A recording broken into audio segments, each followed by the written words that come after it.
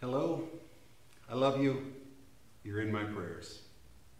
Wherever you are, whenever you find this video, we invite you not only to watch and listen, but to worship with us. This is a brief form of our worship service for June 14th, 2020. It includes a few announcements, a call to worship, prayer, readings, and a brief message. We're so glad that you were with us. Next Sunday will be Father's Day. We invite you to return again then. And we have good news. Our church council has decided that we will begin to gather again in person. And one of the ways we will do that is an option for getting together on Sunday mornings for a brief worship service and a time of fellowship beginning the 5th of July. I'll say more about that in my message, but I'd like to begin just with this. First, that we will continue to offer our worship by internet and by mail.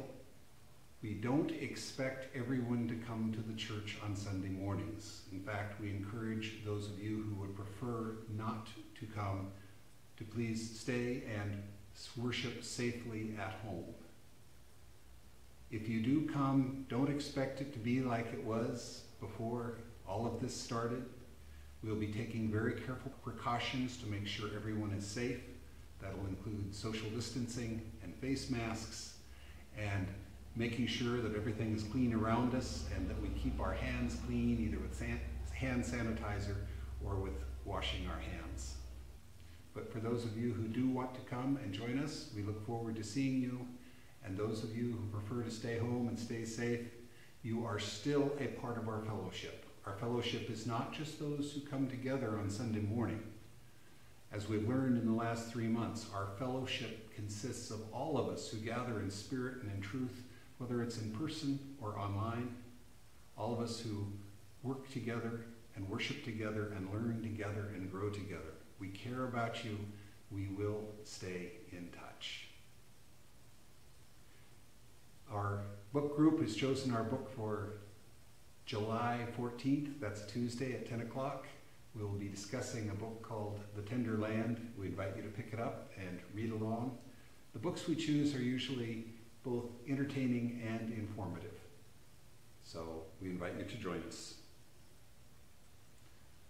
I'd like to begin today with our call to worship, which is adapted from Psalm 100.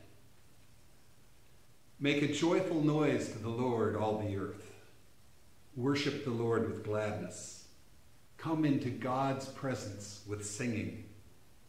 Know that the Lord is God. It is God that made us, and we belong to God.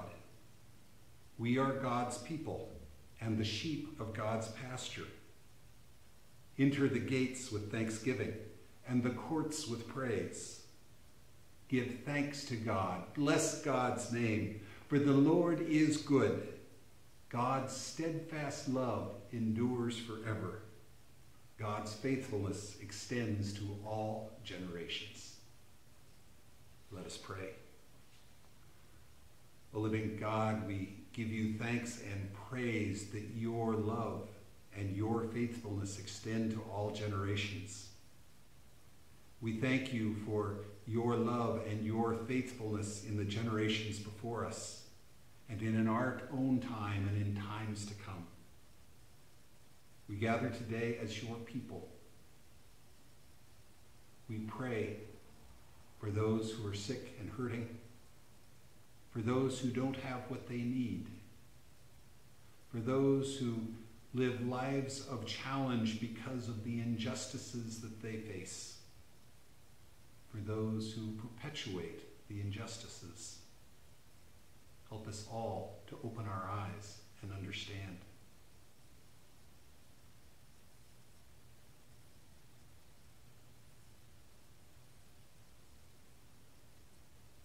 We pray in the name of Jesus Christ. Amen.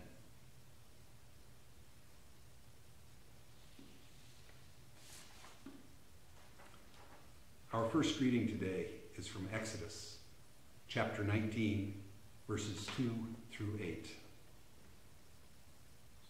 They had journeyed from Rephidim entered the wilderness of Sinai and camped in the wilderness. Israel camped there in front of the mountain. Then Moses went up to God. The Lord called to him from the mountain, saying, Thus you shall say to the house of Jacob, and tell the Israelites, You have seen what I did to the Egyptians, and how I bore you on eagle's wings and brought you to myself. Now therefore, if you obey my voice and keep my covenant, you shall be my treasured possession out of all the peoples. Indeed, the whole earth is mine, but you shall be for me a priestly kingdom and a holy nation. These are the words that you shall speak to the Israelites. So Moses came, summoned the elders of the people, and set before them all these words that the Lord had commanded him. The people all answered as one Everything that the Lord has spoken, we will do. And then from Matthew chapter 9, 35 through 10, 1. Then Jesus went about all the cities and villages, teaching in their synagogues and proclaiming the good news of the kingdom and curing every disease and every sickness. When he saw the crowds, he had compassion for them because they were harassed and helpless, like sheep without a shepherd. Then he said to his disciples, The harvest is plentiful, but the laborers are few. Therefore, ask the Lord of the harvest to send out laborers into the harvest. Then Jesus summoned his twelve disciples and gave them authority over unclean spirits to cast them out and to cure every disease and every sickness. May God bless this reading for our living and our understanding.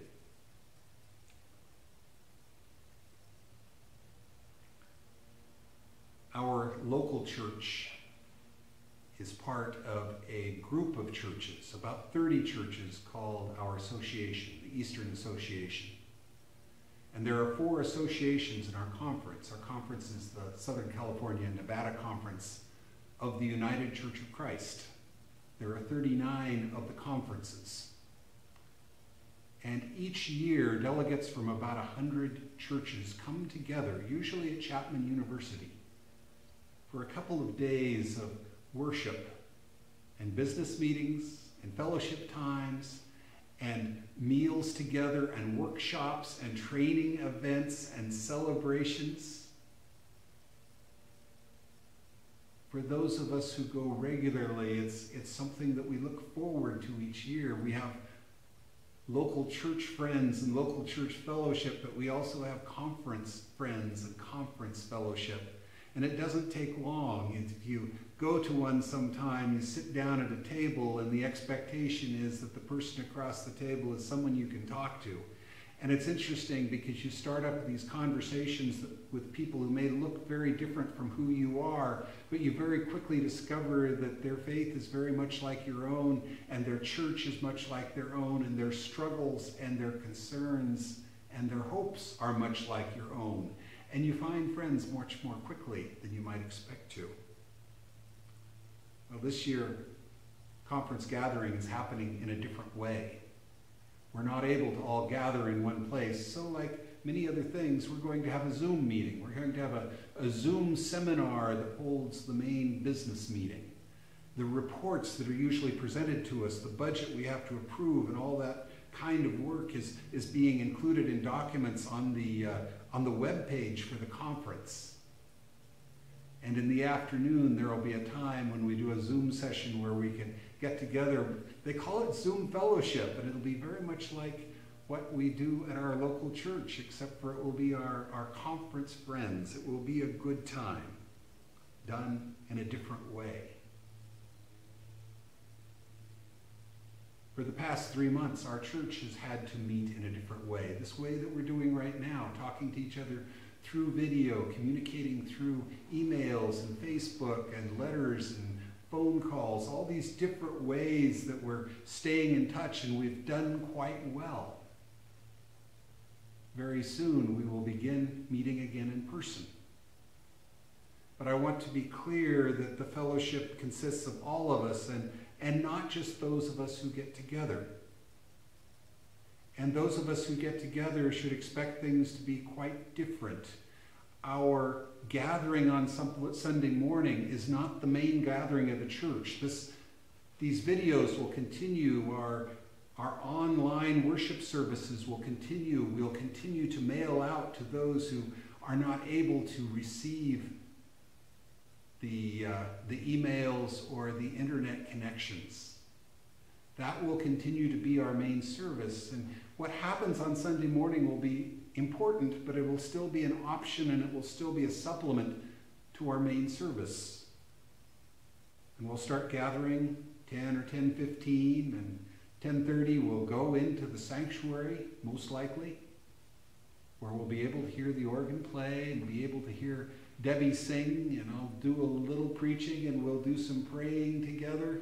But it'll be a brief service. We probably won't sing hymns together. There will still be those wonderful videos that we won't see at church. You'll still get to go home and, and watch those and discover the wonderful things that I've found to share for you during the week. And the sermon that I preach on Sunday morning is likely to be a condensed form of, of what I say to everyone here. But then we'll go out and our fellowship will probably be outside. Everything we do will be done in a way that is as safe as it can be. We'll wipe down surfaces before you arrive. You'll see some signs around. We'll ask everybody to maintain that six foot distance. We'll ask people to wear their masks most of the time. We may make some exception to that for people who are hard of hearing and depend on a little bit of lip reading in order to understand. But when we don't have masks, that means the space is that much more important. We'll be checking temperatures as you arrive. But it'll still be us together. We'll be together, together to praise God, and we'll be together to love one another and catch up and build our friendships and, and restore the progress on making friends. So, for those who are able to be there, I look forward to seeing you again. For those who aren't, remember, you are still very much a part of us, and I, I look forward to talking to you again also. And all of us on the church staff look forward to those continuing phone calls and connections. But what I'd like to talk about today is related to that, but it's a bit different. It's why we get together. Why do we gather as a church? Why do we choose to remain connected to each other even when we can't gather? What, what is it that happens in a church that's so important? And to discuss that, I'd like to start with Moses. We, we know the story of Moses about how Moses called the people and led the people out of slavery in Egypt. And there was a time of freedom and restoration that happened with the people, and it happened during a time of plagues and epidemics, and that's taking more significance to us now. We are now also in a time of justice and freedom, and it's happening in the midst of a time of plagues and epidemics. But God led the people out using Moses. And God overcame the power of the Egyptians so the people could go free. And they came to the wilderness of Sinai. They came to the foot of Mount Sinai and they camped there. And God spoke to Moses and he told them this First, remind them of what I've done for you. Remind them about how I overcame the Egyptians. Remind me them of how I carried you like an eagle on eagle's wings. One of the reasons we come together is to be reminded of what God has done for us, for you and for me and for all the people around us. And God said, challenge the people to follow my commandments. So it came with a challenge, and we come to challenge each other. And it came with a promise. If you obey my voice, God says, you will be my chosen people. You will be a holy nation. All the earth is mine, says the Lord. But if you hear my voice and follow, you will be a blessed people. And Moses gathered the people together and presented to them the reminder of what God had done, presented them to them the challenge to follow God's way, and presented to them the promise, and they responded as one. We gather to hear the reminder of what God's been doing for us. We hear to be challenged. We, we gather to hear that promise. And we gather to respond as one, to answer as one. But what does it take to answer as one? When we gather together, there's an awareness that is kind of on the edge of our awareness. We don't really pay attention to it very often, but it makes a difference that when you're sitting in the pew and I'm up front talking, that there are other people who are listening. It would feel much different if it was just the two of us in the room and I were to talk in that way. But we are all listening together. Even right now, as we're apart from another, we are all listening together. We're thinking about how other people would respond and how we all respond together. When we get together for a business meeting, whether it's in the local church or at the conference gathering or just in the parking lot where we're talking about church business, there's usually somebody talking and presenting information, but the real action is going on around the table or around the room as we watch how each other is responding. We watch the, the smiles and the frowns and the times when people sit up and the times when people sit back and cross their arms. We are communicating with each other so we can reach a common understanding as to what God would have us do and what we are going to do to respond to God's will. We gather together so we can answer as one. Jesus went about all the cities and villages proclaiming God's news and casting out demons and healing people. And he, he called the disciples together and he gave them authority over the demons. And he gave them the authority to cure sicknesses and illnesses. And Jesus sent them out, and they went out. We gather together because Jesus calls us together. And we gather together to hear the good news of the kingdom of God, the realm of God, which is so well expressed in the Lord's Prayer Thy kingdom come, thy will be done. The kingdom of God, the realm of God, is that gathering of people who are listening for God's will and who are willing and ready to respond and follow. God's will be done. And we gather also to understand what our task is, to understand what Jesus is sending us to do, and to receive the gifts and perhaps, yes, the authority to do what needs to be done. Jesus gave them the authority to cast out unclean spirits. And we don't think, perhaps in our modern era, in terms of demons in the same supernatural way that they may have been thought of in, a, in previous centuries. But still, we see what that points toward that there are still demons in our society. There are still demons within us. Our selfishness, our willingness to look at other people who are not a part of our own same racial or ethnic or national group, the people on the other side of borders, and value them somehow less, even though that they are children of God. Our own selfishness.